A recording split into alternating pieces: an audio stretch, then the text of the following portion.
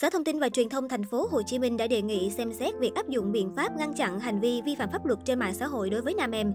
Ngay sau đó, người đẹp cũng có động thái đáng chú ý trên mạng xã hội.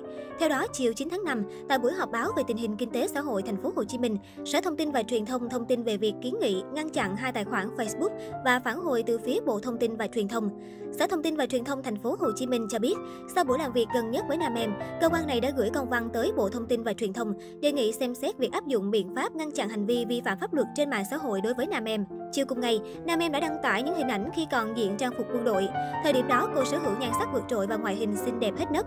Đáng chú ý, cô cho biết bản thân cảm thấy hối tiếc khi bước chân vào showbiz. Theo đó, người đẹp gốc Tiền Giang chia sẻ, ngày đó đứng giữa ngã ba đường chọn vào showbiz hay tiếp tục con đường quân đội. Tôi đã muốn có cả hai, nhưng không thể được song hành cả hai, nên cuối cùng tôi đã quyết định rời khỏi quân đội. Cứ ngỡ rằng sự lựa chọn ấy là một quyết định đúng đắn, nhưng cuối cùng lại là sự hối tiếc cả đời. Hồi đầu tháng 4, Sở Thông tin và Truyền thông thành phố Hồ Chí Minh đã làm việc với nam em liên quan đến các thông tin người này đăng tải lên mạng xã hội vào ngày 26 tháng 3 và 2 tháng 4.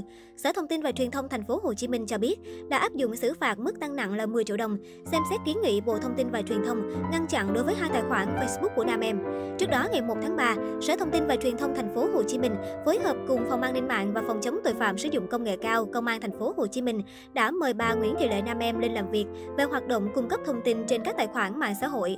Trong lần làm việc này, Sở Thông tin và Truyền thông quyết định xử phạt vi phạm hành chính đối với Nam Em về hành vi cung cấp thông tin gây hoang mang trong nhân dân và hành vi cung cấp thông tin xúc phạm danh nhân, anh hùng dân tộc mà chưa đến mức truy cứu trách nhiệm hình sự.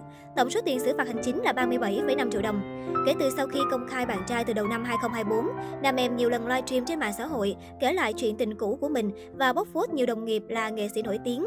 Cô chia sẻ một diễn viên thường xuyên sử dụng chất cấm, đồng thời bật mí về một diễn viên từng là bạn gái cũ của chồng sắp cưới. Dù không nêu thẳng đích danh tên các nghệ sĩ nhưng khán giả dễ dàng đoán ra những người nam em đề cập là ai. Ngoài ra các phiên livestream cũng có sự xuất hiện của chồng sắp cưới của nam em và ca sĩ Duy Mạnh, người mẫu Quế Vân với những phát ngôn khiến khán giả không khỏi sốc.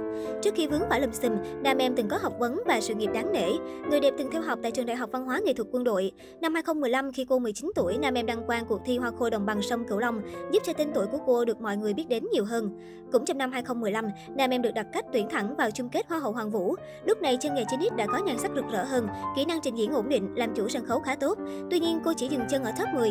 Một năm sau, khán giả vô cùng bất ngờ khi nam em trở thành đại diện của Việt Nam dự thi Miss Earth, Hoa hậu trái đất tại Philippines. Đây được xem là thời điểm nam em được đánh giá là đạt đến đỉnh cao nhan sắc và sự nghiệp. Kết quả cô lọt vào top 8 chung cuộc. Từ những thành công trên, nam em bắt đầu lấn sân sang ca hát. Năm 2022, cô cùng Bạch Công Khanh cho ra mắt MV New Year With You. Đến năm 2023, cô tiếp tục ra thêm MV Ký Trường Nguyệt và MV Làm Người Cô Đơn.